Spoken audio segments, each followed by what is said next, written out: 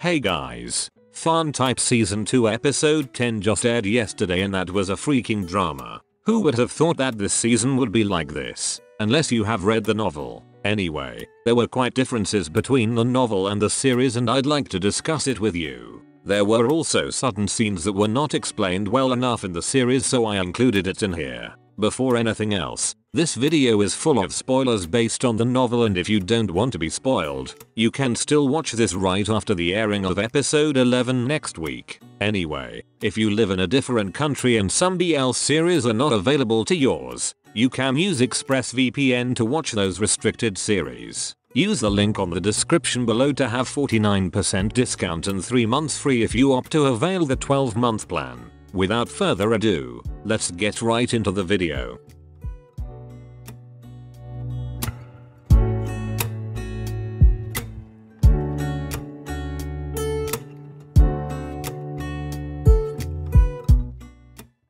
I'm actually a bit shocked and surprised to see that Fiat in the series wasn't exactly like in the novel. Before I explain to you why Fiat is different from his novel counterpart, I will tell you some fun facts about the parking scene first. Just like what I have mentioned on my previous video, the personnel who saw the incident was a security guard from the hospital and not Dr. Kumpel. To be honest, I kinda like the series version more because of the chosen character although I got confused on how the doctor managed to be in the same place too. Anyway, that was only a minor complaint but overall, the parking scene in the series was lighter compared to the novel. Type actually punched Tharn right into his face to knock his senses back but there was no violence shown in the series. I guess it was to show off their character development through simple gestures. The words that were written in the novel was also more harsh. Going back to the topic, Fiat was not actually afraid of Tharn in the novel, or simply saying that he did not want to show it on his rival.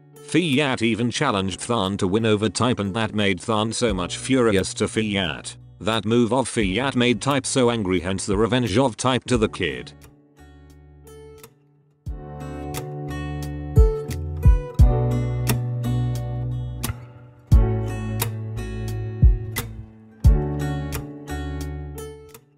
If there's one thing that I already anticipated in this episode, it was the scene when Tharn and Type argued in their apartment. I wasn't actually hoping for that scene to happen but I guess it's inevitable. The execution was actually great although it was a bit less dramatic than the novel. What's good in the series is that, it was not a toxic scene unlike what happened in the novel. When Type went back to their apartment, it was to explain everything what happened in the parking lot. Type thought that Tharn had calmed down already but he was wrong.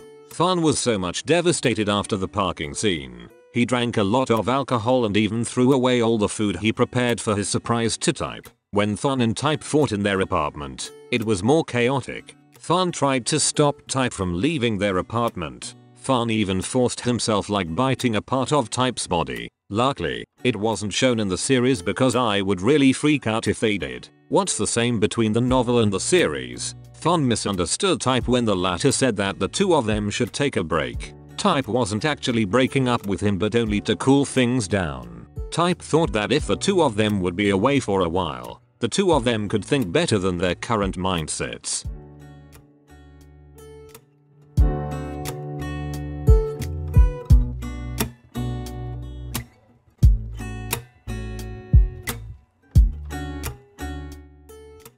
One of the biggest change between the novel and the series was how the revenge of Type was executed. When Type left their apartment, he actually went to Techno and Cla's house. Cla and Type could not get along with each other because Type knew how Techno and Cla's relationship began. When Type knew that Fiat was still bothering Tharn, he asked for the help of Cla for his own plan. Unlike in the series, it was Cla who seduced Fiat and not Sir. It was an obvious choice because his character fit so well for that plan. At that time, Fiat was only irritated on his situation and he was not actually making a drama unlike what he did in the series. When Fiat already fell for the trap of Cla, the former invited Fiat to check into some hotel.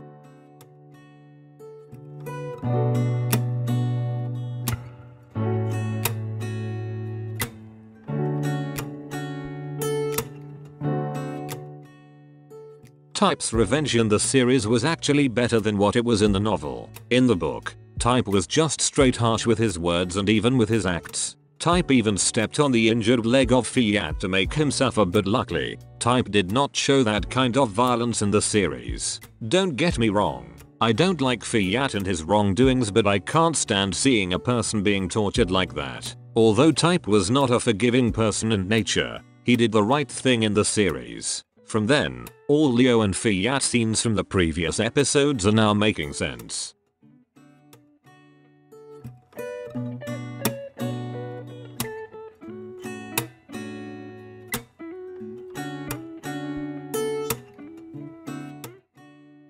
There are quite a lot of chapters left in the novel if we compare it in the series but looking how fast paced the scenes, I think there would be other scenes from the book that will be omitted. I'm not going to tell you the detailed scenes like what I did in the episode 10 before but I might do another part for that. For now, I'm just going to explain what could happen in the episode 11 based on the teaser shown from this week's episode. The last scene that was shown in the episode 10 was when Type was about to open the door of their apartment but suddenly, he got a call from someone and he was shocked based on his facial expressions. The person who called to him on that day was his mother. Type's mother informed him that his father got into an accident and injured his legs. When he heard that news, Type immediately went back to his hometown without even informing Tharn regarding that matter. In the novel, Type was in Champ's house when that scene happened. Tharn already had the courage to talk with Type on that day and immediately went to Champ's house. But he was unlucky that he couldn't reach Type in time. When Tharn learned the information from Champ,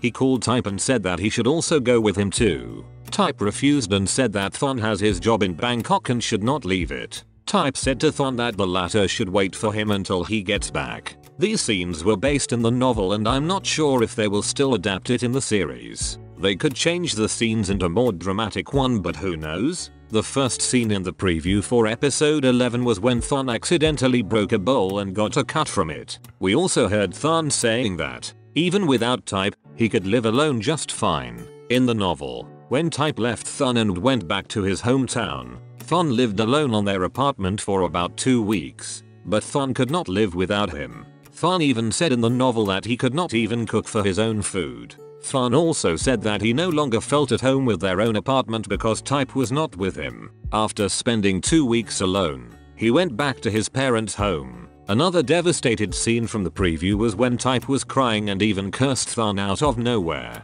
If they would follow the novel, the reason why Type became so much emotional was when he called Tharn while he was at the beach. In the novel, Type was looking at the sunset from their hometown and he saw a lot of couples around him. Type whispered on his own that he already misses Tharn a lot. Type decided to call Tharn because of that. When Tharn answered the call, Type said that he misses him. But the only reply he got from Tharn was, that's all? Type got so mad because of that. He threw away his phone and cried a lot because he thought Tharn also misses him. Type became enraged and all he felt was hatred to Tharn. Don't worry, Type still picked up his phone after he threw it away. What really happens is, Type misunderstood the reply of Tharn on the phone. Tharn was actually waiting for Type to call. When he answered it, he got excited and dumbfounded. Right after the call of Type, Tharn immediately packed his things to go to Type's hometown too.